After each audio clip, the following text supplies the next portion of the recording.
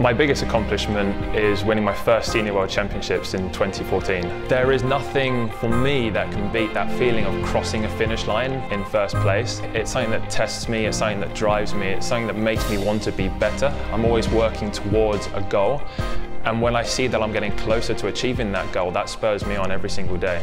Rowing is a, its own separate element because you can do it both on land and on water. It burns a lot of calories. It's very much a leg dominant workout. That is the big driving force.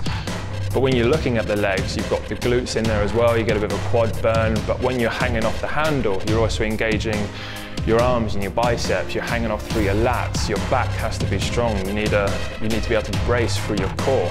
At the end of every stroke, you're almost doing a half sit-up. So it's amazing for a full body workout. I can guarantee on a rowing machine, you know, within a minute, you can go to such a level where you're going to be falling off it. The high intensity workouts are going to burn fat quicker and you'll have that lasting effect afterwards, but you can burn just as many calories at a much lower intensity. If you want to do, say, an hour on the row machine, you can burn close to a thousand calories. If you learn how to row correctly, you're going to enjoy the sport a lot more and you're going to see the benefits a lot quicker. And along that process, you're going to start seeing how much more defined your muscles are, you're naturally going to get fitter, healthier, and burn that fat along the way.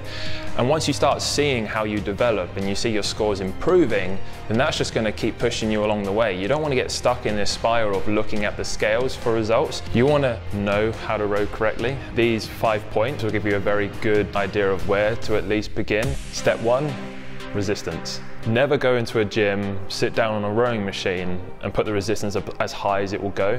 All this will do is greater your chances of injuring yourself. And I would say anywhere around half resistance is a great place to start. Step two, foot placement. Look at what your feet are set on. It's very easy to adjust the feet. You just pull the straps towards you, lift it up.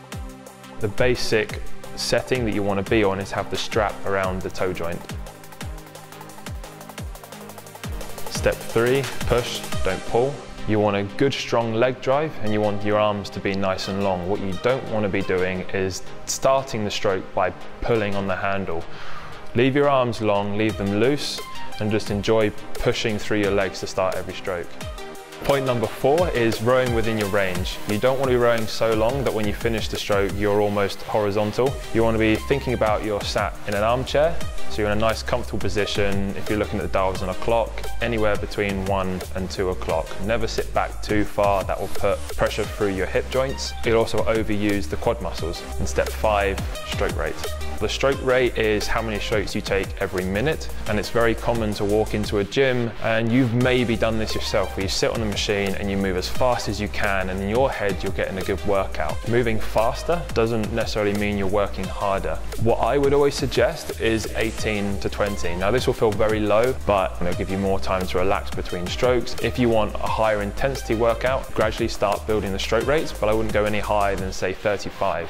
It doesn't really matter how old you think you are or if you're too young to have a go at it. The sport will encompass everything and everyone.